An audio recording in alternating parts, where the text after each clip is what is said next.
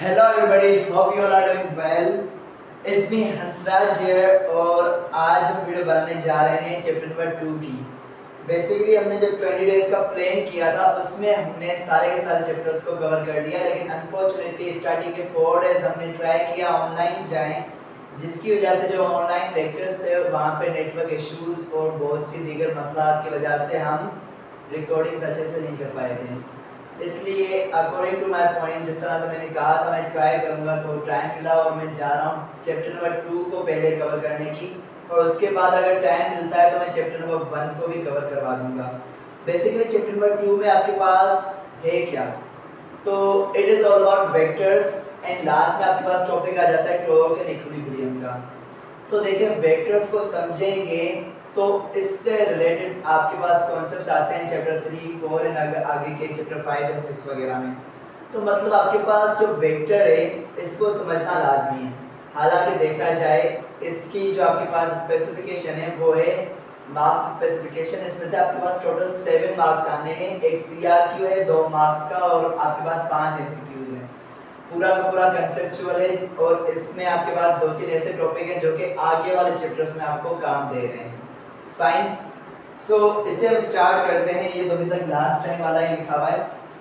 इसे अगर हम स्टार्ट करते हैं तो इसका पहला पहला एसएल आ जाता है एसएल नंबर 2.1 आपका सेकंड चैप्टर है जो कि कह रहा है एसएल नंबर 2.1 में कार्टेशियन कोऑर्डिनेट सिस्टम को समझाओ। 2.1.1 में कह रहा है let me read the statement कि describe the Cartesian coordinate system in two and three dimensional systems okay अब कार्टेशियन कोऑर्डिनेट सिस्टम क्या होता है? और 2D और 3D में से हम डिस्कस करने वाले हैं। देखा जाए, पहले की जो क्लासेस हमने ली थी, जिसमें मैं ट्यूशन की तरह चल रहा था रिकॉर्डिंग के साथ साथ में सामने बैठे हुए फिजिकली स्टूडेंट्स को भी मैनेज कर रहा था, उसमें मेरी एनर्जी दो साइड जा रही थी। अक्सर मैं मोबाइल की कैमरा की तरफ़, यानी कि ऑनलाइन वाले स्टूडेंट्स की तरफ़ देख नहीं पा रहा था।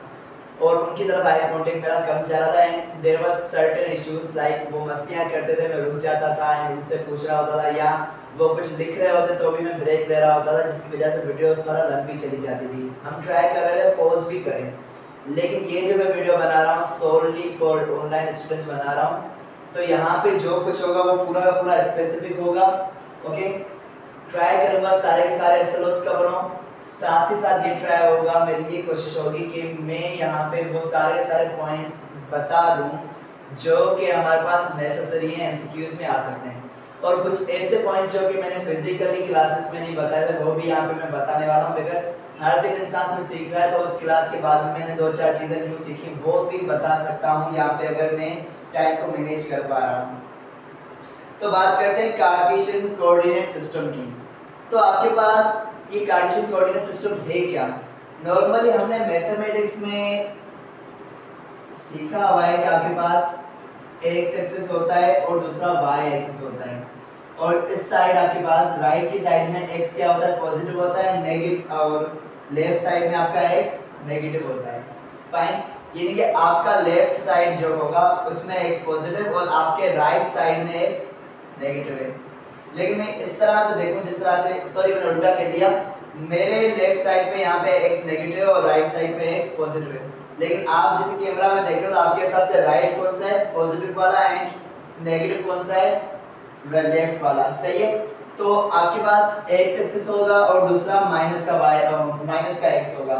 उसी तरह अपर डायरेक्शन में वाई पॉजिटिव का और डाउनवर्ड डायरेक्शन वाई आपका नेगेटिव का होगा। क्लियर सो so, ये होता है आपका 2D 2D कार्टेशियन सिस्टम जिसमें आपके पास ये सेंट्रल पार्ट जहाँ पे एक्स एंड वाई एक्सिस जो आप हैं, वो आपस में एक दूसरे को इंटरसेक्ट कर रहे हैं कट कर रहे हैं। तो उस पॉइंट को कहते हैं ओरिजिन फाइन अब x और y, या माइनस एक्स और y, या माइनस एक्स और माइनस एक्स या x और माइनस y तो यहाँ पे आपके पास चार प्लेन बन रहे हैं। पहला ये प्लेन बन रहा है जिसमें आपके पास एक्स होगा पॉजिटिव का और y होगा। पॉजिटिव का। फाइन अगर मैं इसको और अच्छे तरीके से प्लस लगा के लिख दूँ तो अच्छा रहेगा। प्लस का x होगा यानी कि x भी पॉजिटिव है और y भी क्या होगा? पॉजिटिव होगा। फाइन यहाँ पे देखिए तो x आपका क्या है? माइनस का और y आपका पॉजिटिव होता है। थर्ड में देखें एक्स आपका नेगेटिव एंड वाई भी आपका क्या है? नेगेटिव है। फोर्थ में देखें तो आपका एक्स पॉजिटिव है, लेकिन वाई नेगेटिव है।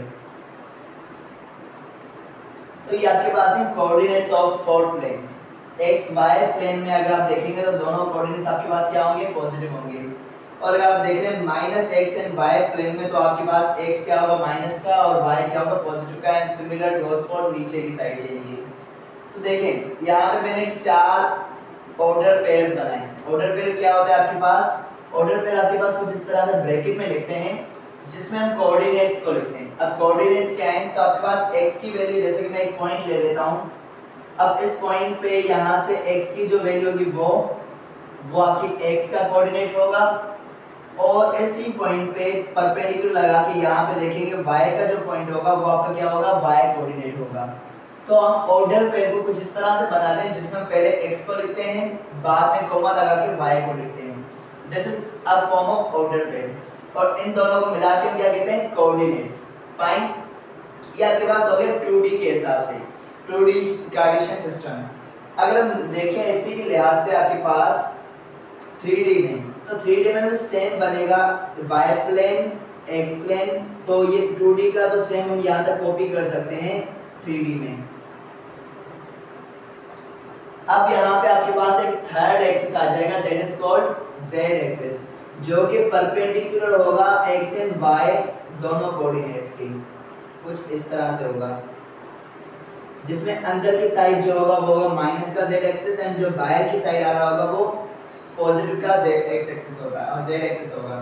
अब इसको अगर मैं समझाने की कोशिश करूँ तो ये आपका हो गया x एक्सिस इसके परपेंडिकुलर अपवर्ड डायरेक्शन में जो जाएगा, वो होगा आपका y एक्सिस फाइन और इन दोनों के परपेंडिकुलर में देखूँ तो क्या होगा? या तो कोई लाइन अंदर जा रही होगी, या तो कोई बाहर जा रही होगी। तो थर्ड जो एक्सिस बनेगा, वो क्या बनेगा? कुछ इस तरह से बनेगा जो कि आउटवर्ड एंड इनवर्ड डायरेक्शन में होगा। तो x axis y axis and z axis आपका कुछ अंदर और बाहर की साइड में होता है। Fine so this is your 3D Cartesian system और इसके अगर मैं ऑर्डर पेयर्स की बात करूँ 3D में तो पहले x लिखते हैं। बाद में y लिखते हैं बाद में z लिखते हैं। फाइन 3D ऑर्डर पेयर आपके पास ऐसे कहा गया इसको डिस्कस करो इसके बारे में बच्चों को पता होना चाहिए लेकिन कोई खास एमसीक्यू वगैरह इसमें से मैंने अभी तक नहीं देखा कि पास पेपर में आया हो। फाइन मैंने भी अभी तक सारे के सारे पास पेपर्स को सॉल्व नहीं किया हुआ तो उसके लिए से मैं नहीं कह सकता कि कहीं कहीं पे भी नहीं आया हुआ लेकिन जहाँ जहाँ पे मैंने देखा वहाँ पे मुझे नज़र नहीं आया अभी तक ये। सो so, बहरहाल इसका आइडिया आपको होना चाहिए 3D में आपके पास कैसे बनता है कार्टेशियन कोऑर्डिनेट सिस्टम और 2D में कैसे बनता है? 2D के बारे में बहुत अच्छे से पता होना चाहिए बिकॉज़ ये आपके पास बहुत जगहों पे यूज़ होने वाला है इस चैप्टर में। दूसरी चीज़, हम एंगल भी बनाते हैं ना।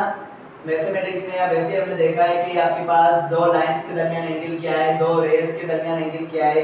उसी तरह से यहाँ पे भी आपके पास आ जाता है, दो वेक्टर्स के दरमियान एंगल क्या बन रहा है। तो एंगल को हम हमेशा बनाते हैं, वैसे अगर इस कोऑर्डिनेट सिस्टम के हिसाब से बनाएँ एंगल को हमेशा बनाते हैं पॉजिटिव एक्स एक्सिस की लाइन से और उसको बना के एंटी क्लॉकवाइज लेके जाते हैं। सही है? तो आपके पास first x and y plane में कितना होगा? 90 का एंगल बनेगा सेकंड वाले में भी 90 एंड थर्ड वाले में भी 90 एंड फोर्थ वाले में भी 90 बनेगा। बिकॉज़ ये क्या है आपस में परपेंडिकुलर है x and y planes are perpendicular या x and y axis are perpendicular to each other fine so this was all about your 2.1.1 जिसमें हमने डिस्कस किया कार्टेशियन कोऑर्डिनेट सिस्टम को 2 एंड 3 डायमेंशनल सिस्टम्स में। ओके? अब नए session आपके पास जो आ रहा है, मैं ट्राई करूँगा कि वीडियो आपके पास एक, दो हो, जिसमें पूरा मैं चैप्टर ही कवर कर दूँ।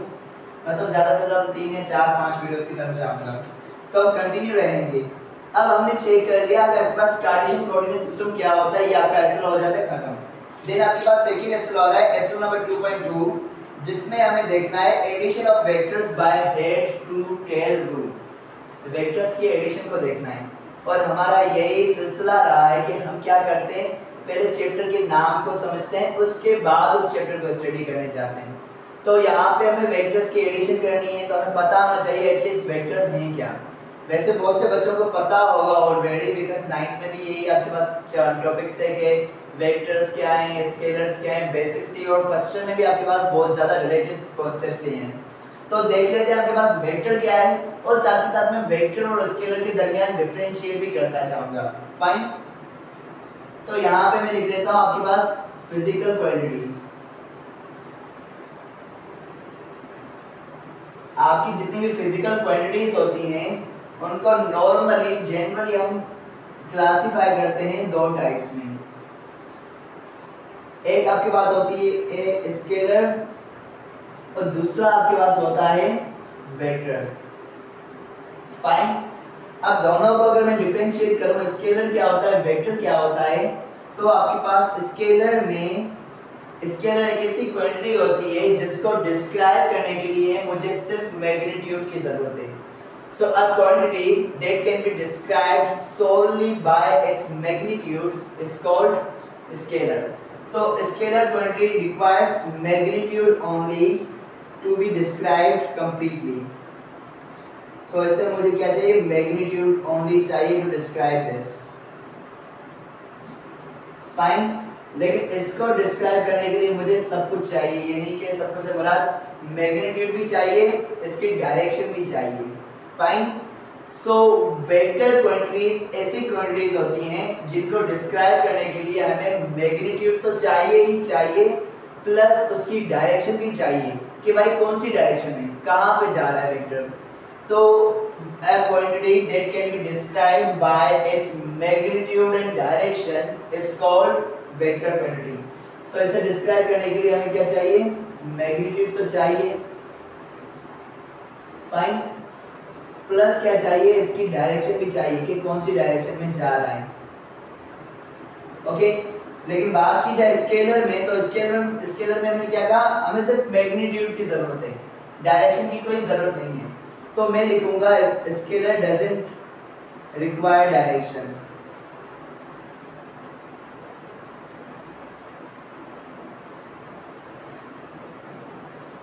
okay हो गई दोनों की बेसिक यही आपके पास डिफरेंशिएशन बन जाती है। अब थर्ड हम करने करने जा रहे हैं इसकी एग्जांपल्स कि आपके पास वेक्टर्स की एग्जांपल्स क्या हैं? स्केलर्स के एग्जांपल क्या हैं? देखें आपके पास वेक्टर में क्या होता है? मैग्नीट्यूड और डायरेक्शन दोनों होते हैं। स्केलर में सिर्फ़ डायरेक्शन सॉरी सिर्फ़ मैग्नीट्यूड होता है। डायरेक्शन की कोई रिक्वायरमेंट स्केलर के लिए नहीं है हमारे पास। तो अगर मैं एक स्केलर क्वांटिटी को डायरेक्शन दे दूँ तो वेक्टर बन जाएगी। जैसे कि आपके पास डिस्टेंस क्वांटिटी होती है ओके डिस्टेंस क्या है? आपके पास दो पॉइंट्स के दरमियान जो आप ट्रेवल करते हो, एक बॉडी जो रास्ता ट्रेवल करके जाती है, उसको हम कहते हैं डिस्टेंस जो कि हमने चैप्टर थ्री में कवर किया हुआ है। तो आपके पास दो पॉइंट्स के दरमियान जो रास्ता ट्रेवल करके बॉडी जा रही है, उस ट्रेवल किए हुए पूरी लेंथ को अगर मैं मेजर करूँ टोटल पाथ को तो वो आपका होगा डिस्टेंस फाइन तो डिस्टेंस आपके पास क्या है? क्वांटिटी है। ओके एक ऐसी क्वांटिटी जिसे आपको रिक्वायर जिसे आपको डिस्क्राइब करने के लिए सिर्फ़ मैग्नीट्यूड चाहिए कि कितना रास्ता कवर करके बंदा एक पॉइंट से दूसरे पॉइंट पे गया है। तो हम क्या मांग रहे हैं सिर्फ़ क्वांटिटी की मैग्नीट्यूड चाहते हैं। तो डिस्टेंस आपके पास किसकी एग्जांपल आ जाती है? स्केलर की। ओके? तो अगर मैं ए जी करके एग्जांपल्स लिखूं तो आपके पास आ जाता है पहले डिस्टेंस फाइन लेकिन यहाँ पे अगर मैं एग्जांपल्स में लिखूं तो आपके पास यहाँ पे डिस्टेंस है तो यहाँ पे क्या आएगा? डिस्प्लेसमेंट बिकॉज़ डिस्प्लेसमेंट आपको क्या बताता है? Shortest path between two points या वो बताता है आपके पास एक बॉडी ट्रेवल कर रही है रास्ते को तो वो कितना पाथ कवर कर रही है? प्लस कौन सी डायरेक्शन में जा रही है? ओके तो आपके पास डिस्प्लेसमेंट एक ऐसी क्वांटिटी होती है जिसको डिस्क्राइब करने के लिए मुझे मैग्नीट्यूड प्लस डायरेक्शन दोनों की नीड है। फाइन तो यहाँ पे आपके पास आ जाएगी एग्ज़ाम्पल में वेक्टर्स की डिस्प्लेसमेंट आगे बढ़ते हैं। Distance per unit time is called speed तो स्पीड आपके पास क्या होती है? मैग्नीट्यूड के कितनी स्पीड से कोई गाड़ी मूव कर रही है, कोई बंदा या ट्रेन है, कोई बॉडी ऑब्जेक्ट मूव कर रहा है। तो स्पीड आपके पास एग्जांपल है स्केलर्स की। फाइन बिकॉज़ इसको डिस्क्राइब करने के लिए मुझे सिर्फ़ मैग्नीट्यूड चाहिए। लेकिन डिस्प्लेसमेंट ओवर टाइम करूँ। ये नहीं कि मैं कहता हूँ कि एक बॉडी कितनी स्पीड से इन पर्टिकुलर डायरेक्शन जा रही है। यानी कि एक बॉडी मूव कर रही है, वो कितनी स्पीड से जा रही है, पहली चीज़ स्पीड यानी कि उसका मैग्नीट्यूड कितना है, कितने मैग्नीट्यूड से मूव कर रही है। सेकंड कौन सी डायरेक्शन में जा रही है। फाइन तो स्पीड भी मिल गया, ये स्पीड यानी कि magnitude of that vector plus direction हमें चाहिए। तो डायरेक्शन एंड मैग्नीट्यूड अगेन दोनों किसकी खसूसियात हैं? वेक्टर्स की। तो आपके पास ये क्या हो जाएगा? वेलोसिटी हो जाएगा। Displacement by unit time is called velocity similarly इसके आगे हम कर रहे हैं speed per unit time change in speed per unit time आपके पास आ जाती है सॉरी स्पीड उसके बाद यहाँ पे वेलोसिटी पर यूनिट टाइम करें तो आपके पास एक्सेलरेशन आ जाती है। Okay again this is what vector quantity और उसके बाद दूसरी एग्जांपल्स देखें तो आपके पास सात बेसिक यूनिट यूनिट्स होते हैं, सात बेसिक बेस क्वांटिटीज होती हैं, कौन सी? टाइम लेंथ मास वगैरह। तो वो सेवन के सेवन आपके पास क्या है? स्केलर है। मास स्केलर है टाइम स्केलर है लेंथ स्केलर है। उसके अलावा करंट टेम्परेचर और ल्यूमिनस इंटेंसिटी और क्या कहते हैं? मास ऑफ़ सब्सटेंस यानी कि मोल वगैरह, जो भी है। ये सातों की सातों क्वांटिटीज आपके पास क्या है? बेस क्वांटिटीज हैं। इन बेस क्वांटिटीज को अगर मैं देखूँ तो ये आपके पास सातों के सातों स्केलर क्वांटिटीज हैं। फाइन और यहाँ पे देख लें फोर्स टॉर्क और उसके अलावा बहुत से एग्जांपल्स वेक्टर्स में भी आ जाती हैं। फाइन यहाँ पे हमें पता चल गया स्केलर और वेक्टर क्वांटिटीज में क्या फ़र्क है? और मेन चीज़ जो हमारा मुद्दा था, कि वेक्टर क्या होता है। ऐसी क्वांटिटी जिसको डिस्क्राइब करने के लिए मुझे मैग्नीट्यूड भी चाहिए और उसका डायरेक्शन भी चाहिए कि वो कौन सी डायरेक्शन में मूव कर रहा है या उसकी डायरेक्शन क्या है ओके तो अगर मैं वेक्टर को डिफाइन करूँ वेक्टर तो उसके पास क्या होगा? पहली चीज़ मैग्नीट्यूड होगा और उसके पास एंड डायरेक्शन होगी। फाइन अगर मैं कहता हूँ वेलोसिटी कितनी है? 15 मीटर्स पर सेकेंड है। एक ऑब्जेक्ट है, कोई भी, वो मूव कर रहा है 15 मीटर्स पर सेकेंड के साथ। यहाँ तक मैंने ये क्या बताया? मैग्नीट्यूड बता दिया। अब डायरेक्शन बता रहा हूँ। टूवर्ड्स नॉर्थ एक ऑब्जेक्ट जो कि मूव करके जा रहा है नॉर्थ की डायरेक्शन में 50 मीटर्स पर सेकंड की स्पीड के साथ। तो मैग्नीट्यूड भी बता दिया और ये डायरेक्शन भी मैंने बता दी कि नॉर्थ की डायरेक्शन में जा रहा है। दिस वाज योर वेक्टर अब मैंने यहाँ पे नॉर्थ को भी छेड़ दिया है तो नॉर्थ के लिए मैं बता दूँ कि ये बात सबको पता होनी चाहिए। ये आपका नॉर्थ होता है, ये आपका साउथ होता है एंड ये आपका ईस्ट होता है और ये आपका वेस्ट होता है।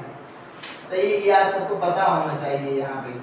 बिकॉज़ यहाँ पे हमारे पास कुछ एमसीक्यूज बन जाते हैं, जो कि इसी कॉन्सेप्ट से रिलेटेड होते हैं कि आपके पास एक बॉडी मूव करके जा रही है नॉर्थ की साइड में ईस्ट की डायरेक्शन में। तो हमें पता होना चाहिए कि हमें ना ऐसे क्वेश्चन से कैसे डील करेंगे। तो यहाँ पे देखा जाए पॉजिटिव वाई एक्सिस जो हमने सीखा पॉजिटिव वाई एक्सिस आपके पास नॉर्थ की डायरेक्शन है नेगेटिव वाई एक्सिस आपके पास साउथ की डायरेक्शन है। पॉजिटिव एक्स एक्सिस डायरेक्शन आपके पास है ईस्ट की और नेगेटिव एक्स एक्सिस आपके पास डायरेक्शन है वेस्ट की। ये याद होने चाहिए आपको। तो यहाँ पे हमने बेसिक कॉन्सेप्ट ऑफ़ वेक्टर्स देख लिया कि वो क्या होता है। अब देखते हैं addition of two vectors normally हम देखें स्केलर एक नंबर को भी कहा जाता है। तो अगर नॉर्मली देखा जाए तो नॉर्मली देखा जाए तो आपके पास जब भी मैं दो नंबर्स को ऐड करूँगा। तो उनका रिज़ल्ट क्या आएगा? जैसे कि मैं ऐड कर रहा हूँ टू प्लस फाइव सेवन आएगा, कुछ भी कर लो। टू प्लस एट सिक्स आएगा, कुछ भी कर लो। Ten plus fifteen twenty five आएगा। आप उस रिज़ल्ट को चेंज नहीं कर सकते। लेकिन वेक्टर्स की दुनिया में अगर मैं टू प्लस फाइव कर रहा हूँ तो हो सकता है सेवन भी आए, हो सकता है फाइव भी आए, हो सकता है कोई और वैल्यू भी आए। ओके तो मतलब आपके पास लाजमी नहीं है कि अगर मैं ना दो वेक्टर्स को ऐड कर रहा हूँ तो जिस तरह से नॉर्मली मैथमेटिक्स में कर रहे हैं टू प्लस फाइव हमेशा सेवन के बराबर होगा। तो ऐसा नहीं कि वेक्टर्स में भी टू प्लस फाइव हमेशा सेवन के बराबर होगा। हो सकता है वेक्टर्स में टू प्लस फाइव सेवन के बराबर भी हो हो सकता है सेवन से कम भी हो। तो अब हमें रेंज कैसे पता चलेगी? रेंज से मुराद, अगर मैं दो वेक्टर्स को ऐड कर रहा हूँ तो दो वेक्टर्स को ऐड करने पे मैक्सिमम वैल्यू क्या आ सकती है और मिनिमम वैल्यू क्या आ सकती है? और उसके अलावा जो वैल्यूज़ आएँगी वो मैक्सिमम एंड मिनिमम वैल्यूज़ के दरमियान होगी। जैसे कि मैं यहाँ पे कह देता हूँ कि मेरे पास ए वेक्टर है, जो आपके पास क्या है? फाइव है ओके और इसकी कुछ डायरेक्शन होगी, उसको मैं अभी नहीं दिखा रहा। उसका मैग्नीट्यूड मैं सिर्फ़ बता रहा हूँ। और बी वेक्टर आपके पास है सपोज़ कह देते हैं थ्री अब मैथमेटिकली अगर मैं ए प्लस बी करूँ तो कितना आना चाहिए मेरे पास? Five plus three equal to eight आना चाहिए। ओके अगर मैं मैथमेटिकली करके देखूँ तो मेरे पास क्या आना चाहिए? एट आना चाहिए। लेकिन यहाँ पे हमारे पास जो रेंज बनेगी, वो कुछ बनेगी। मतलब एट भी आ सकता है, लेकिन ज़रूरी नहीं कि हमारे पास एट ही आए। मतलब आपके पास जो मैक्सिमम वैल्यू होगी, वो एट होगी। मिनिमम वैल्यू क्या होगी? ग्रेटर वेक्टर यानी कि बड़ी वैल्यू से स्मॉलर वैल्यूज़ को माइनस कर लो। यानी कि फाइव माइनस थ्री करता हूँ। तो मेरे पास क्या आता है? टू आता आता है। सही है? तो मेरे पास टू क्या है? मिनिमम वैल्यू है। और एट मेरा क्या है? मैक्सिमम वैल्यू है। फाइन तो मेरी रेंज जो होगी, वो होगी टू से एट के दरमियान कुछ। फाइन यानी कि अगर मैं ए और बी को जब ऐड करूँगा तो मेरे पास वैल्यू टू भी आ सकती है एट भी आ सकती है। अब ये डिपेंड करता है कुछ कंडीशंस के ऊपर, जिसको हम कहते हैं वेक्टर लॉ ऑफ़ एडिशन जब हम दो वेक्टर्स को ऐड करते हैं तो हम हेड टू टेल रूल या रेक्टेंगुलर कंपोनेंट्स उसके अलावा क्या कहते हैं पैरेललोग्राम मेथड ये सारे जो आपके पास वेज हैं, जिनसे हम वेक्टर एडिशन को ढूंढते हैं, उसमें हम क्या देख रहे होते हैं, आपके पास मैग्नीट्यूड क्या होता है डायरेक्शन क्या होता है, और उसकी बेस पे बता देते हैं, दो या तीन या चार, उससे ज़्यादा जितने भी वेक्टर्स हम ऐड कर रहे हैं, उनका सम कितना होगा. फाइन तो ये डिपेंड करता है वेक्टर के मैग्नीट्यूड प्लस डायरेक्शन दोनों पे। ओके तो यहाँ पे इसकी डायरेक्शन इन दोनों की डायरेक्शन डिटरमाइन करेगी कि आपके पास आंसर टू आता है एट आता है, या three four five six seven क्या आता है? या आपके पास आंसर पॉइंट्स में भी आ सकता है two point five six three point eight six कुछ भी आ सकता है आंसर टू और एट के दरमियान। Okay inclusive two and eight मतलब टू भी आ सकता है एट भी आ सकता है और इनके दरमियान की कोई भी वैल्यू आ सकती है और ये डिपेंड करता है आपके पास वेक्टर्स की डायरेक्शन क्या है फाइन तो अब आगे देखते जाएँगे और आहिस्ते आहिस्ते आप समझते जाएँगे, मैं जानता हूँ यहाँ तक आप कंफ्यूज होंगे कि आंसर क्या आएगा, कैसे आएगा। लेकिन जैसे जैसे हम आगे बढ़ेंगे, आपको ये और मजीद अच्छी तरह से क्लियर होता जाएगा। तो एस की साइड बढ़ते हैं आपके पास और उसकी साइड बढ़ने से पहले एक और चीज़ रिप्रेजेंटेशन ऑफ़ वेक्टर अगर मैं करूँ तो वेक्टर को हम रिप्रेजेंट करते हैं दो तरीकों से। एक ग्राफिकली दूसरा आपके पास आ, क्या कहते हैं लिख के थ्योरेटिकली तो अगर मैं थ्योरेटिकली कहूँ तो आपके पास वेक्टर को लिखने के लिए नाम लिख लेते हैं। जैसे कि मैं कहता हूँ सपोज़ मेरे पास वेक्टर ए तो ए एक वेक्टर है ये देख के पढ़ने वाले को रीडर को या एग्जामिनर जो चेक कर रहा होगा आपकी कॉपी को उसे कैसे पता चले कि ये वेक्टर है? तो इसकी रिप्रेजेंटेशन के लिए हम नॉर्मली इसके ऊपर एरो लगा देते हैं। ओके उसके अलावा दूसरा तरीका थ्योरेटिकली रिप्रेजेंट करने का ए लिख के उसके ऊपर बार लगा दो। ये बार आपके पास मतलब उसके ऊपर एक लाइन बना दो, वो बताएगा एक वेक्टर है। उसके अलावा जो थर्ड चीज़ है या थर्ड वे है वेक्टर को रिप्रेजेंट करने का, वो है बुक में यूज़ वो ज़्यादा होता है। वो ये है कि आप वेक्टर को थोड़ा बोल्ड कर दो। बोल्ड, आई होप ये वर्ड आप सब समझते होंगे, बोल्ड करना क्या होता है? मतलब उसको थोड़ा मोटा कर दो, उसको थोड़ा मोटा करके हाईलाइट कर दो, इसे हम कहते हैं बोल्ड थोड़ा थिक कर दो उसको। तो बुक में आप थोड़ा बोल्ड करके रिप्रेजेंट कर रहे होते हो। नॉर्मली जनरली हम लिखने में ये वाली रिप्रेजेंटेशन यूज़ कर रहे होते हैं वेक्टर की वेक्टर का लिख के ए लिख के उसके ऊपर एरो लगा दो, या वेक्टर का नाम लिख के उसके ऊपर एरो लगा दो, ये रिप्रेजेंट कर रहा है एक वेक्टर है। ग्राफिकली बात करें तो ग्राफिकली हम वेक्टर को रिप्रेजेंट करते हैं एक लाइन के थ्रू एक लाइन लगा दी और उसके आगे आपने एक एरो लगा दिया। फाइन अब लाइन का मकसद क्या है? एरो का मकसद क्या है? इसमें से एमसीक्यू भी जनरेट हो सकता है। इस पॉइंट से लेकर इस पॉइंट तक। ये क्या होगा? एक लाइन होगा, एक लेंथ है। तो the length of this line will give you the magnitude okay तो आपको मैग्नीट्यूड देता है ग्राफिकली देखें तो आपको मैग्नीट्यूड मिलता है इस लाइन से, यानी कि length of given vector graphically आपको ये वेक्टर और इसके अगर मैं लेंथ को देखूँ तो ये लेंथ आपको क्या दे रही है? मैग्नीट्यूड दे रही है। और ये जो एरो है, ये एरो रिप्रेजेंट करता है डायरेक्शन ऑफ़ गिवन वेक्टर तो ये एरो आपको डायरेक्शन बता रहा है। और length of this vector represents the magnitude fine और इससे एमसीक्यू जनरेट हो सकता है। नाइन्थ में तो मैंने बहुत से ऐसे एमसीक्यूज देखे थे। अभी अगेन से कि मेरे पास में बस सारे के सारे नहीं देखे और मुझे इससे रिलेटेड कोई सवाल याद नहीं है। तो ये रिप्रेजेंटेशन हो गई। आपका एसएलओ क्या कह रहा है? वापस उसे रीड कर लेते हैं।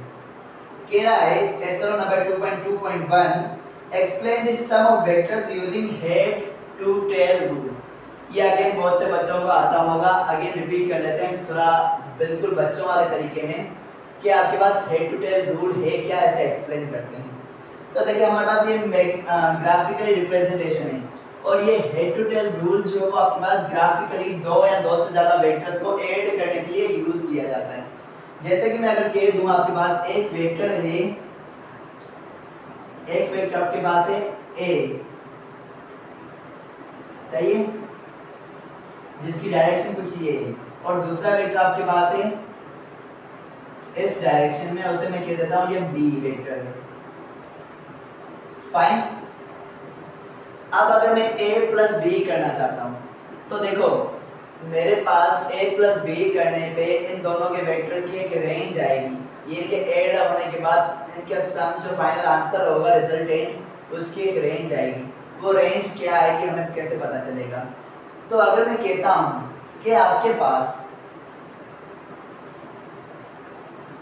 ए की वैल्यू है फाइव और बी की वैल्यू मैं ले लेता हूँ सिक्स फाइव और इनकी डायरेक्शन भी आपके पास रिप्रेजेंट की गई है इस एरो के थ्रू अब मैं इन दोनों वेक्टर्स को ऐड करना चाहता हूँ. तो मैं नॉर्मली ऐड करूँगा किस तरह से? पहले मैं अगर ए प्लस बी करना चाहता हूँ. फाइन अभी मेरा इंटरेस्ट क्या है? ए प्लस बी करता हूँ. तो पहले मैं लिखूँगा ए यानी ए को ड्रॉ करूँगा ग्राफिकली कर लिया। और ये फाइव इसकी लेंथ है सही है? अब मैं स्केल अपने हिसाब से स्केल लेके चल रहा हूँ। सपोज़ करता हूँ मेरे पास एक सेंटीमीटर एक न्यूटन वगैरह को रिप्रेजेंट कर रहा है। वो सारी की सारी आगे की बातें स्केल कैसे सेट करते हैं, उसके ज़रिए हम कैसे करते हैं। ये चीज़ें मैं जानता हूँ। अभी आप लोगों के जहन में आ रही होंगी बिकॉज़ ये अधूरी नॉलेज आपके जहन में अगर है तो ये कंफ्यूज कर रही होंगी। उन सबको साइड करके मेन पॉइंट पे फोकस करना है। हम पहले वेक्टर को क्या कर रहे हैं? ड्रॉ कर रहे हैं। ए प्लस बी कर रहा हूँ तो मैंने ए को ड्रॉ कर दिया। फाइन अब मैं कोशिश करूँगा कि इसकी लेंथ और ए वेक्टर की लेंथ दोनों क्या होनी चाहिए? सेम होनी चाहिए। अब बी को ड्रॉ करते हैं। तो देखें, ये ए का हेड है। ए के हेड पे बी की टेल रखनी है आपको। फाइन इस तरह से कुछ। या आपने बी को ड्रॉ कर दिया? क्या किया आपने फ़र्स्ट वेक्टर यानी कि जो आपका फ़र्स्ट वेक्टर ए था ए के हेड पे, यानी फ़र्स्ट वेक्टर के हेड हेड पे आपने क्या किया? सेकंड वेक्टर यानी कि बी का टेल ज्वाइन कर दिया। फाइन एंड बी के बाद आपके पास कोई और वेक्टर नहीं है तो आपको क्या फाइंड करना है? रिजल्टेंट यानी कि sum of these two vectors okay तो रिजल्टेंट हमें कैसे मिलता है? रिजल्टेंट को हमें फाइंड करने के लिए लास्ट वेक्टर यानी कि यहाँ पे इस केस में आपके पास लास्ट वेक्टर क्या है? बी है। तो बी के हेड पे रिजल्टेंट का हेड बनेगा। ओके और फ़र्स्ट वेक्टर यानी कि ए आपका इस केस में। फ़र्स्ट वेक्टर के टेल पे रिजल्टेंट का टेल बनेगा। तो फ़र्स्ट वेक्टर के टेल पे रिजल्टेंट का टेल और लास्ट वेक्टर के टेल पे, और सॉरी लास्ट वेक्टर के हेड पे रिजल्टेंट का हेड बनेगा। और जब इन दोनों पॉइंट्स को मैं ऐड करूँगा ये कि मिलाऊँगा तो मेरे पास एक लाइन आएगी। अगेन ये एक वेक्टर बन रहा है। इस वेक्टर की लेंथ आपको क्या देगी? रिजल्टेंट का मैग्नीट्यूड और ये आपके पास डायरेक्शन दे रही है कि रिजल्टेंट की डायरेक्शन क्या है? कुछ इस डायरेक्शन में। फाइन और रिजल्टेंट को हम क्या कह देते हैं? आर कह देते हैं। This is your head to tail rule जिसको मैंने जबानी करके समझा दिया। एक और एग्जांपल लेते हैं, जिसमें हम क्या कर रहे होंगे? A plus B plus C करते हैं तीन वेक्टर्स को ऐड करते हैं उसके बाद इसकी डेफिनेशन को लिखते हैं। सही है? तो अभी मैं लिखता हूँ, मेरे पास एक और vector third that is C उसकी डायरेक्शन कुछ ऐसी है। फाइन और इसको मैं क्या कर लेता हूँ? लिखता हूँ A plus B plus C करना चाहता हूँ मैं। ओके तो मेरे पास क्या आएगा? तो पहले मैं अगेन इसकी तरह ए को बनाऊँगा। ए बना दिया। और ए के हेड पे सेकंड वेक्टर तो यहाँ पे आपका सेकंड वेक्टर क्या है? बी ए के हेड पे बी का टेल ज्वाइन करूँगा। तो बी का टेल मैंने यहाँ पे ज्वाइन किया और बी की डायरेक्शन कुछ इस तरह से है this is your B fine अब बी के बाद बी के बी के हेड पे सी का टेल ज्वाइन करूँगा। यानी कि सेकंड वेक्टर के हेड पे थर्ड वेक्टर का टेल ज्वाइन कर रहा हूँ। तो बी के हेड पे सी का टेल ज्वाइन करूँगा। कर दिया ज्वाइन और सी की डायरेक्शन क्या है? अपवर्ड डायरेक्शन में। And this is your C अब रिजल्टेंट को हमने कैसे फाइंड किया था? रिजल्टेंट को हमने फाइंड किया था कुछ इस तरीके से कि लास्ट वेक्टर यानी कि लास्ट वेक्टर आपका क्या है? सी है। सी सी के हेड पे रिजल्टेंट का हेड और फ़र्स्ट वेक्टर यानी कि ए ए के टेल पे रिजल्टेंट का टेल तो ए के टेल पे रिजल्टेंट का टेल और लास्ट वेक्टर यानी कि सी के हेड पे रिजल्टेंट का हेड और इन दोनों पॉइंट्स को अगर मैं ज्वाइन करता हूँ तो मुझे एक लाइन मिल रही है, एक न्यू वेक्टर मिल रहा है। वो क्या होगा आपका? रिजल्टेंट इस केस में।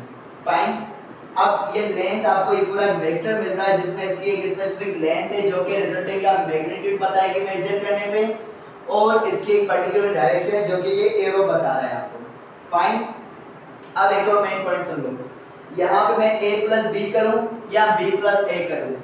कोई फ़र्क नहीं पड़ता। ओके और यहाँ पे अगर मैं a plus B plus C करूँ, या मैं कहूँ कि ना मैं a plus C plus B कर रहा हूँ, या उसके अलावा मैं b plus C plus A करता हूँ मतलब कोई भी ऑर्डर रख लूँ, मेरे पास रिजल्टेंट जो आएगा, उसका मैग्नीट्यूड और डायरेक्शन क्या रहेंगे? सेम रहेंगे हर केस में, भले कोई भी ऑर्डर रख दूँ।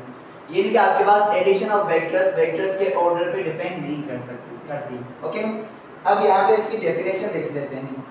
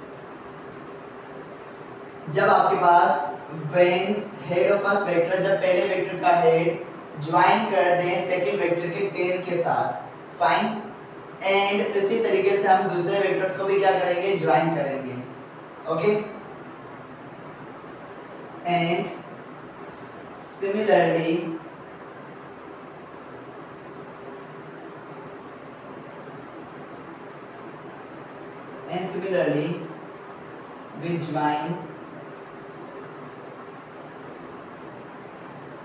other uh, we join other vectors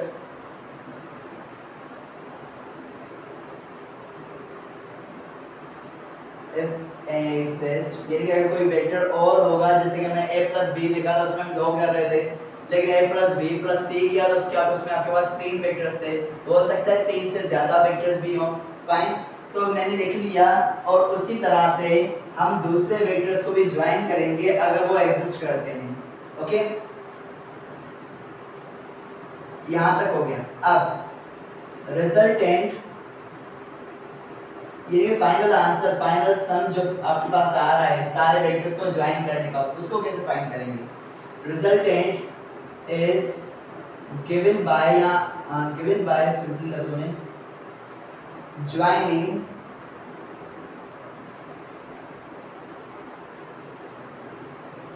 tail of resultant with the tail of first vector tail of resultant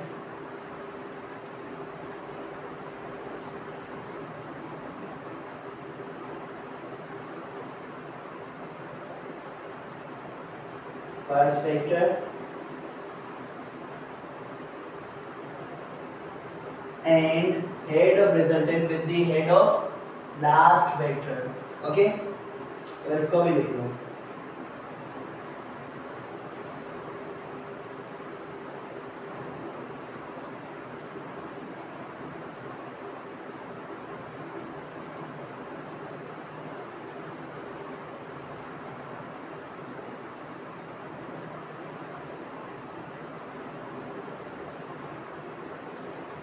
this is your head to tail rule लिखने में लग रहा है मैंने बहुत ज़्यादा लंबा कुछ चौड़ा कुछ लिख लिया लेकिन एक तो मैंने वर्डिंग को थोड़ा ना, क्या कहते हैं, पूरा एक्सप्लेन करके लिखा है कि जो भी बंदा पढ़ ले उसे समझ में आ जाए। इससे छोटी डेफिनेशन भी बन सकती है, अगर कोई बंदा बनाना चाहे। और साथ ही साथ मैंने ट्राई किया है कि क्लियरली विजिबल हो, उसके लिए थोड़ा मैंने ना भरा करके लिखा है। This was your head to tail rule जिसमें हम फ़र्स्ट वेक्टर के हेड के साथ सेकंड वेक्टर की टेल सेकंड वेक्टर के हेड के साथ थर्ड वेक्टर की टेल और सिमिलरली सारे वेक्टर्स को इसी तरह से हेड से tail head to tail head to tail join कर देते हैं।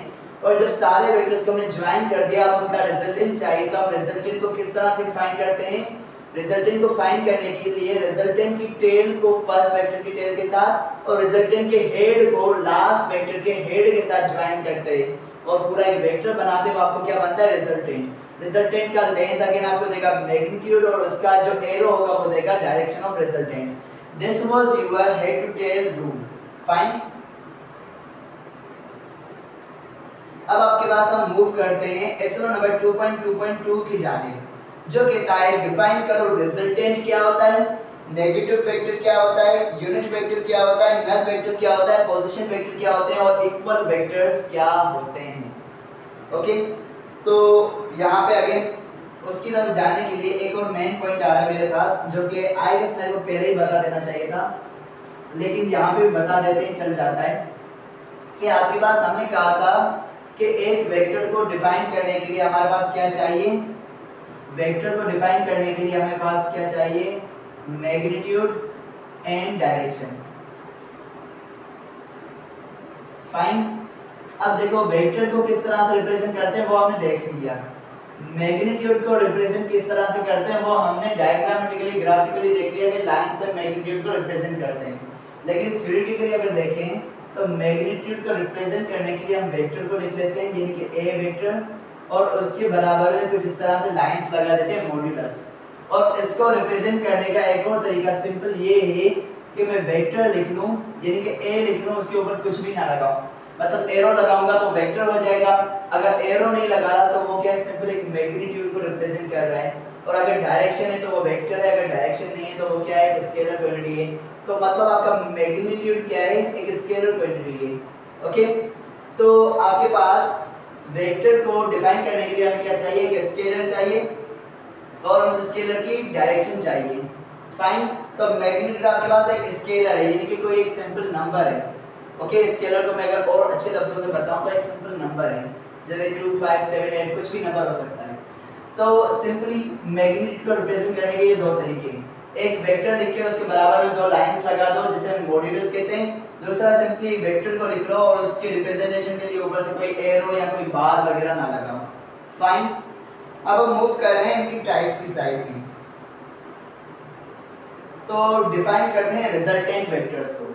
रिजल्टेंट को अभी हमने डिस्कस ही किया था हेड टू टेल रूल में, क्या किया था हमने? जब दो या दो से ज़्यादा वेक्टर्स को ज्वाइन कर रहे थे, तब आपके पास एक न्यू वेक्टर मिल रहा था, उनका सम जो कि क्या था? रिजल्टेंट था। ओके अब अगर मैं कहता हूँ, मेरे पास एक बॉडी है। सपोज़ करते हैं एक डब्बा है। इसमें मैं फोर्स लगा रहा हूँ, इस डायरेक्शन में भी। ओके इस डायरेक्शन में भी फोर्स लगा रहा हूँ। फाइन और साथ ही साथ मैं इस डायरेक्शन में भी फोर्स लगा रहा हूँ और यहाँ से मैं किसी चीज़ से बाँध के इसको आगे भी खींच के जा रहा हूँ। अब इस बॉक्स के ऊपर कितने? एक, दो, तीन, चार। चार फोर्सेस लग रही हैं। अब इन चारों फोर्सेस के लगने के बाद ये बॉक्स कौन सी डायरेक्शन में मूव करेगा? इधर जाएगा, ऊपर जाएगा, नीचे जाएगा, वो कौन सी डायरेक्शन में जाएगा? ये हमें फाइंड करना है। तो अब बॉक्स कौन सी डायरेक्शन में मिले, जाएगा? ये हमें कैसे पता चलेगा? हमें ये कुछ इस तरह से पता चलेगा कि अगर मैं इन चारों वेक्टर्स इनके इन चारों फोर्सेस को सम कर दूँ सम करने के बाद इनका जो रिजल्टेंट आएगा, उस रिजल्टेंट की जो डायरेक्शन होगी, वो आपको बताएगी कि ना बॉक्स कौन सी डायरेक्शन में मूव करेगा और उस रिजल्टेंट का मैग्नीट्यूड बताएगा कि बॉक्स उस पर्टिकुलर डायरेक्शन में कितनी फोर्स के साथ मूव करने वाला है। सही या कितनी एक्सेलरेशन के साथ मूव करने वाला है? बिकॉज़ फोर्स की वजह से किसी बॉडी में आपके पास एक्सेलरेशन प्रोड्यूस होती है। तो मतलब आपके पास क्या हुआ? रिजल्टेंट क्या है? रिजल्टेंट आपके पास नेट इफ़ेक्ट है, दो या दो से ज़्यादा वेक्टर्स का। जैसे कि मैं सिंपली अभी कर a प्लस बी ओके और इनका अगर मैं रिजल्टेंट बनाऊँ हेड टू टेल के थ्रू कुछ इस तरह से ये रिजल्टेंट आपके पास बनेगा ओके तो मतलब आपके पास ए वेक्टर और बी वेक्टर अगर दोनों मिलके किसी एक बॉडी के ऊपर, है ना वर्क करते हैं, यानी कि ए और बी दोनों आपके पास सपोज़ करते हैं ए भी फोर्स है बी भी फोर्स है। ए फोर्स और बी फोर्स दोनों एक ऑब्जेक्ट के ऊपर एक्सर्ट की जा रही है। तो फाइनली वो बॉक्स कौन सी डायरेक्शन में मूव करेगा और कितनी एक्सेलरेशन के साथ उस डायरेक्शन में मूव करने वाला है। वो हमें कैसे पता चलेगा? रिजल्टेंट के साथ। इनके अगर ए और बी किसी ऑब्जेक्ट के ऊपर एक्सर्ट किए जा रहे हैं तो आपके पास रिजल्टेंट बताएगा कि वो बॉक्स इस डायरेक्शन में मूव करेगा। जैसे कि अभी देख लेते हैं, ये आपका बॉक्स है। ए की डायरेक्शन ये है और बी की डायरेक्शन ये है। तो आपका रिजल्टेंट बता रहा है कि आपका बॉक्स इस डायरेक्शन में मूव करने वाला है। सही है? तो रिजल्टेंट बेसिकली बता क्या रहा है, ये देख लो। रिजल्टेंट आपको बता रहा है, दो या दो से ज़्यादा वेक्टर्स का नेट इफ़ेक्ट कि अगर मैं ना एक ऑब्जेक्ट के ऊपर दो या दो से ज़्यादा वेक्टर्स को लगा रहा हूँ, यानी कि फोर्स लगा रहा हूँ एक्सेलरेशन लगा रहा हूँ, या स्पीड वगैरह वेलोसिटी वगैरह कुछ भी कह लो तो अगर दो से ज़्यादा वेक्टर्स किसी भी ऑब्जेक्ट के ऊपर एक्ट कर रहे हैं, या दो या दो से ज़्यादा वेक्टर्स किसी ऑब्जेक्ट के ऊपर एक्ट करते हैं तो उनका नेट अफेक्ट क्या होता है? उस नेट अफेक्ट को हम कहते हैं रिजल्टेंट ओके तो resultant is the net effect of two or more vectors okay तो इसको अगर लिख लूँ resultant is the net effect of two or more vectors. और इसका बेसिक आइडिया मैंने देने की कोशिश की थी। अब आपका जो एसएल और उसमें कह रहा है? डिफाइन तो डिफाइन करने के साथ अगर आपको वो समझ में नहीं आया, ये डेफिनेशन अगर क्लियर हो रही है तो भी आपका ये एसएल का जो पार्ट है रिजल्टेंट वाला, वो हो जाता है क्लियर सेकेंड हम मूव करते हैं नेगेटिव वेक्टर की साइड अब नेगेटिव वेक्टर आपके पास क्या होता है? तो सिंपली अगर मैं वेक्टर कह देता हूँ, एक ए वेक्टर है। ओके और सपोज़ मैं कहता हूँ ए वेक्टर आपके पास इसकी लेंथ जो हो गया फाइव है। या इसका मैग्नीट्यूड क्या है, वो फाइव है। और दूसरा वेक्टर बी है। ओके और बी की भी लेंथ या मैग्नीट्यूड क्या हो वो क्या है फाइव है। तो जब दो वेक्टर्स उन दोनों का मैग्नीट्यूड सेम हो, लेकिन डायरेक्शन क्या हो? एंटी पैरेलल हो, यानी कि अपोजिट डायरेक्शन हो। और जब मैं उन देखूँगा तो आपके पास वो दोनों एक दूसरे के नेगेटिव होंगे। जिस तरह से देखूँ यहाँ पे ए वेक्टर है, उसकी डायरेक्शन क्या है? ईस्ट की साइड में। यानी कि पॉजिटिव एक्स एक्सिस की डायरेक्शन में ईस्ट की डायरेक्शन में ए की डायरेक्शन में। और बी वेक्टर को मैं देता हूँ। बी की मैग्नीट्यूड क्या है? वो भी फाइव है, लेकिन उसकी डायरेक्शन क्या है? वेस्ट की डायरेक्शन में। और हमें पता है ईस्ट और वेस्ट आपस में क्या होते हैं? एंटी पैरेलल डायरेक्शन में होते हैं। या सिंपली कहा जाए ए और बी वेक्टर्स आपके पास क्या है? एंटी पैरेलल डायरेक्शन में है। एंटी पैरेलल से मुराद कि आपके पास एक वेक्टर इस डायरेक्शन में जा रहा है, दूसरा वेक्टर उसके अपोजिट डायरेक्शन में जा रहा है। ओके और अगर दोनों वेक्टर्स का मैग्नीट्यूड सेम है, लेकिन डायरेक्शन अपोजिट है तो उसे हम क्या कहेंगे? नेगेटिव वेक्टर ओके तो ये आपके पास फ़र्स्ट वेक्टर था, जो कि रिजल्टेंट वेक्टर था। अब सेकंड हम डिफाइन करने जा रहे हैं नेगेटिव वेक्टर को। So negative vector has same magnitude but opposite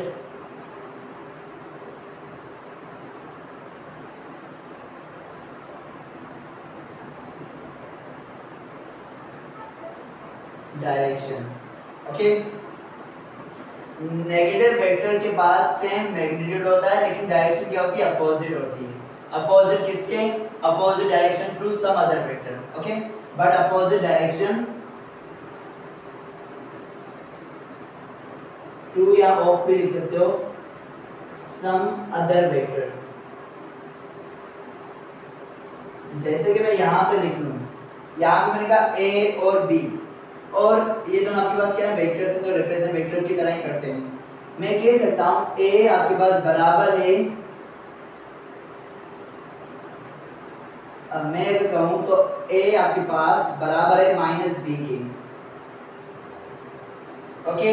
अगर मैं बी को बी के साथ माइनस लगा रहा हूँ यानी कि उसकी डायरेक्शन को मैं अपोजिट कर रहा हूँ। ओके? मतलब आपके पास माइनस रिप्रेजेंट करता है अपोजिट डायरेक्शन को। फाइन सो ये पॉइंट हमेशा जेन में रहना चाहिए। माइनस रिप्रेजेंट कर रहा है यहाँ पे, आप वेक्टर्स में नॉर्मली देखेंगे हम। माइनस आपके पास रिप्रेजेंट करता है अपोजिट डायरेक्शन को। तो यहाँ पे देखिए कि ए आपके पास बराबर है अपोजिट ऑफ़ बी यानी कि अगर मैं बी की डायरेक्शन को रिवर्स कर दूँ तो मतलब ए और बी बराबर हो जाएँगे, लेकिन ये क्या हो जाएगा? माइनस का बी हो जाएगा बिकॉज़ इसकी डायरेक्शन क्या होगी? रिवर्स होगी इसकी डायरेक्शन को मैंने अपोजिट कर दिया है। फाइन और अगर इसी तरह से अगर मैं चाहूँ तो मैं ये भी बयान कर सकता हूँ, b मेरे पास माइनस ए के बराबर है। बिकॉज़ जिस तरह से मैं a is equal to minus B लिख सकता हूँ, उसी तरह से b is equal to minus A भी लिख सकता हूँ। वो कुछ कुछ इस तरह से कि मेरे पास a इस तरह सॉरी b ये था असल में। इनिशियल कंडीशन हमारे पास ये थी। अगर मैं इस पॉइंट को डिस्क्राइब करूँ तो मैं क्या कह रहा हूँ, मैं a वेक्टर का नेगेटिव ले लूँ यानी कि a को माइनस a की डायरेक्शन को रिवर्स कर दूँ तो वो b के बराबर हो जाएगा। अगर मैं ए की डायरेक्शन को रिवर्स कर रहा हूँ तो वो बी के बराबर हो जाएगा। A is equal to B हो जाएगा। ओके तो आई होप यहाँ पे आपको नेगेटिव वेक्टर्स का कॉन्सेप्ट भी क्लियर हो गया है। थर्ड आपके पास आ रहा है यूनिट वेक्टर्स को। तो यूनिट वेक्टर एक अच्छा खासा डिस्कशन का टॉपिक है, जिसको मैं लास्ट में करने वाला हूँ। आगे मूव करते हैं नल वेक्टर्स की साइड तो नल वेक्टर एक ऐसा वेक्टर जिसका मैग्नीट्यूड ज़ीरो हो। ओके मतलब एक ऐसा वेक्टर जिसके पास मैग्नीट्यूड हो ही ना। तो जब मैग्नीट्यूड नहीं है तो क्या कहते हैं? ज़ीरो मैग्नीट्यूड है, इसके पास कुछ भी नहीं है। तो ज़ीरो मैग्नीट्यूड हो। अगर मैग्नीट्यूड ज़ीरो है तो इसकी डायरेक्शन क्या होगी? डायरेक्शन का पता नहीं पता नहीं लगा सकते ये डायरेक्शन क्या है। तो हम ऐसा नहीं कहेंगे कि उसके पास डायरेक्शन नहीं है। लेकिन हमें पता है वेक्टर है, उसके पास कोई ना कोई डायरेक्शन होगी। लेकिन वो डायरेक्शन क्या है, ये हम पता नहीं लगा सकते बिकॉज़ इसका मैग्नीट्यूड ही ज़ीरो है। तो इस केस में हम कहते हैं ज़ीरो वेक्टर एक ऐसा वेक्टर है, जिसका मैग्नीट्यूड क्या होता है ज़ीरो होता है, और इसकी डायरेक्शन क्या होती है आर्बिट्ररी डायरेक्शन होती है। ओके जैसे कि इस केस में अगर मैं ए प्लस बी करता हूँ ए प्लस बी करूँगा तो मेरे पास दोनों के अपोजिट है। जब अपोजिट डायरेक्शन में दो वेक्टर्स होते हैं और उन दोनों को अगर मैं ऐड करता हूँ और दोनों का मैग्नीट्यूड सेम है, या सिंपली कहा जाए, अगर दो vectors negative of each other हैं और उन दोनों को मैं ऐड करता हूँ तो दो नेगेटिव वेक्टर्स को ऐड करने पे आपका जो रिजल्टेंट आएगा वो आएगा ज़ीरो ओके तो दो वेक्टर्स को ऐड करने पे आपके पास रिजल्टेंट आया है और रिजल्टेंट भी आपके पास एक वेक्टर क्वांटिटी होती है तो उस वेक्टर क्वांटिटी के पास डायरेक्शन ना हो, ऐसा हम नहीं कह सकते। मतलब हम कहेंगे इसका मैग्नीट्यूड तो ज़ीरो है, लेकिन इसके पास कुछ डायरेक्शन है। वो क्या है, हम नहीं बता सकते। इसलिए हम कह देते हैं इसकी डायरेक्शन क्या है? आर्बिट्ररी तो ज़ीरो वेक्टर को अगर मैं डिफाइन करूँ ज़ीरो वेक्टर या नल वेक्टर भी कहते हैं इसे।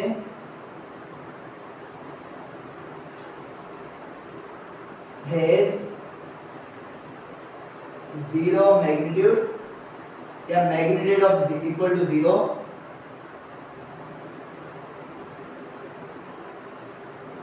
and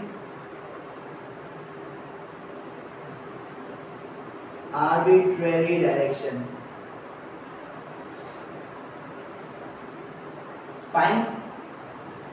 This is your zero vector की definition. उसके अलावा आपके पास आ जाता है पोजीशन वेक्टर और उसके बाद इक्वल वेक्टर रहता है, उसके बाद हम देखेंगे यूनिट वेक्टर्स को। तो पोजीशन वेक्टर आपके पास क्या होता है? उसको डिफाइन करने के लिए अगर मैं सिंपल पूछूँ वेक्टर का नाम देखो, उन्होंने क्या रखा हुआ है? पोजीशन वेक्टर पोजीशन वेक्टर मतलब ये आपको क्या देगा? नाम नहीं छुपा हुआ है पोजीशन तो अगर मैं देखूँ पोजीशन वेक्टर तो ये क्या दे रहा है आपको? पोजीशन दे रहा है। किसकी देगा? अब ये देख लो। अगर मैं कहता हूँ मेरे पास एक एक्स वाई प्लेन है, ये एक्स वाई माइनस का एक्स एंड माइनस का वाई मैंने कार्टेशियन प्लेन बना दिया। और इसमें मैं कहता हूँ, ये मेरा ओरिजिन होगा, ज़ाहिर बात है। और ये मेरा पॉइंट इस पॉइंट को मैं कहता हूँ पी ओके अब मैं चाहता हूँ ये जानना कि position of P point P point की पोजीशन क्या होगी with respect to origin origin के लिहाज से ओरिजिन के रेफरेंस से पी पॉइंट की पोजीशन क्या है? तो ये मैं कैसे फाइंड करूँगा? मैं ये फाइंड करूँगा with the help of position vector तो एक ऐसा वेक्टर जो कि आपको डिफाइन करके बताता है किसी भी गिवन पॉइंट की direction with respect to a given point यानी कि यहाँ पे with respect to origin with respect to origin तो हम क्या कहेंगे? ये आपके पास पोजीशन वेक्टर है।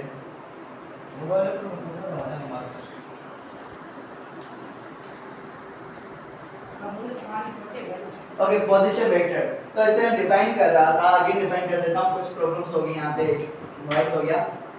तो पोजीशन वेक्टर एक ऐसा वेक्टर होता है जो कि आपके पास रिप्रेजेंट करता है या स्पेसिफाई करता है किसी भी पॉइंट की डायरेक्शन को with respect to a given point वो रिस्पेक्ट टू हम कोई भी पॉइंट ले सकते हैं। यानी कि हम नॉर्मली जनरली जो ले रहे होते हैं यूजुअली वो होता है आपका ओरिजिन पॉइंट तो हम इसको डिफाइन कुछ इस तरह से करते हैं कि एक ऐसा वेक्टर जो कि आपके पास किसी भी गिवन पॉइंट की या किसी भी गिवन पॉइंट की ना क्या कह सकते हैं पोजीशन या लोकेशन स्पेसिफाई करता हो.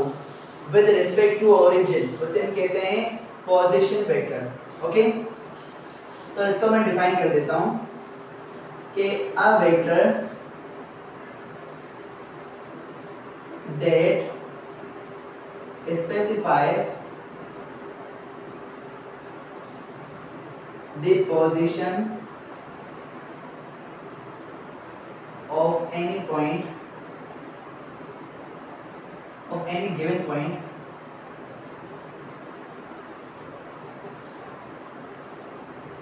with with uh, with respect to या with reference to another point okay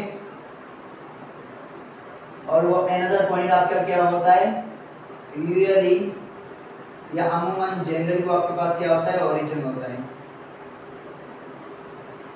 यानी कि अगर मैं ओरिजिन के हिसाब से पॉइंट पी की डायरेक्शन या लोकेशन बताऊँ या पोजीशन बताऊँ, वो क्या होगी? ये होगी। और ये आपका आर वेक्टर है। ओके पोजीशन वेक्टर को नॉर्मली स्मॉल आर से रिप्रेजेंट कर रहे होते हैं जनरली कोई हार्ड एंड फास्ट रूल नहीं है, लेकिन आर से हम नॉर्मली रिप्रेजेंट कर रहे होते हैं। तो देखो, ओ यानी कि ओरिजिन के रिस्पेक्ट से ओरिजिन के रेफरेंस से पॉइंट पी की लोकेशन को स्पेसिफाई कर रहा है या पॉइंट पी की पोजीशन को स्पेसिफाई कर रहा है। कौन कर रहा है ये? ये आर वेक्टर कर रहा है। और ये आर वेक्टर आपका क्या है? पोजीशन वेक्टर है। ये वेक्टर बताएगा कि आपके पास ओरिजिन से पॉइंट पी कितना दूर है और कौन सी डायरेक्शन में है।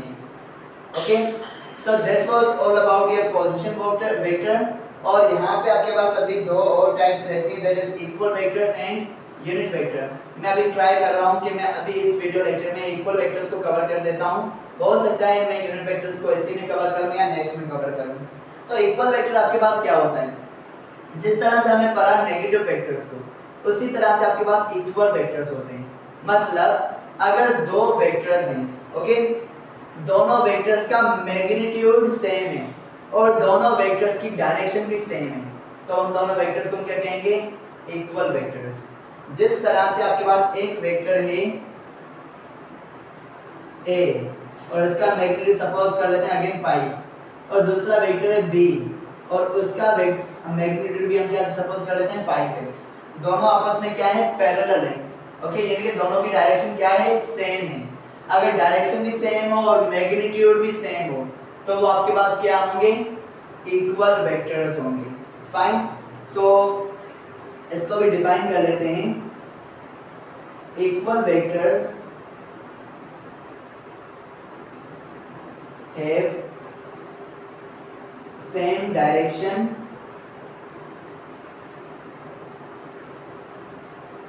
and same magnitude fine this this is your definition of equal vectors अब एक और मेन पॉइंट सुन लो इक्वल वेक्टर्स और नेगेटिव वेक्टर्स के लिहाज से। कि इक्वल वेक्टर्स और नेगेटिव वेक्टर्स में अगर आप देख रहे हो, यहाँ पे जिस तरह से मैंने कहा ए वेक्टर और बी वेक्टर है। अगर ए आपका फोर्स वेक्टर है तो बी भी आपका फोर्स वेक्टर होना चाहिए। दोनों सेम क्वांटिटी के होना चाहिए, सही और नेगेटिव वेक्टर्स में भी आपके पास दोनों वेक्टर्स क्या होने चाहिए? सेम क्वांटिटी के होने चाहिए। मतलब दोनों फोर्स होने चाहिए, दोनों वेलोसिटी होनी चाहिए, दोनों एक्सप्रेशन होना चाहिए, दोनों की क्वांटिटी सेम होनी चाहिए। ओके अगर क्वांटिटी सेम नहीं है तो हम उन्हें ना नहीं कह सकते इक्वल है या अपोजिट है या नेगेटिव है। इस तरह से कुछ भी नहीं कह सकते बिकॉज़ उनकी क्वांटिटी सेम नहीं होगी। तो यहाँ पे नेगेटिव और इक्वल वेक्टर्स में ये पॉइंट भी याद रखने जैसा है कि हमारे पास इक्वल वेक्टर्स को अगर मैं आगे डिफाइन करूँ, के सेम डायरेक्शन हो सेम मैग्नीट्यूड हो, और दोनों की दोनों क्वांटिटीज या दो से ज़्यादा जितनी भी क्वांटिटीज हैं, वो उन सारों की क्या होनी चाहिए? क्वांटिटी सेम होनी चाहिए। यानी कि वो सारे के सारे फोर्स होने चाहिए, या एक्सेलरेशन होने चाहिए, या वेलोसिटी होनी चाहिए। यानी कि सारे के सारे एक ही क्वांटिटी के वेक्टर्स होने चाहिए। Same goes for negative vector के मैग्नीट्यूड सेम हो, लेकिन डायरेक्शन अपोजिट हो, और आपके पास क्वांटिटीज क्या होनी चाहिए? सेम होनी चाहिए। या तो वेलोसिटी हो, या तो एक्सेलरेशन हो, या फोर्स हो। फाइन विद से यहाँ पे आपका एसएलओ जो है, ये वाला होता है, तकरीबन ऑलमोस्ट क्लियर जिसमें हम सब कुछ सब कुछ क्लियर कर चुके हैं। ओनली यूनिट फैक्टर्स आपका रहता है। यूनिट फैक्टर्स को हम करेंगे नेक्स्ट वीडियो में discuss thank you so much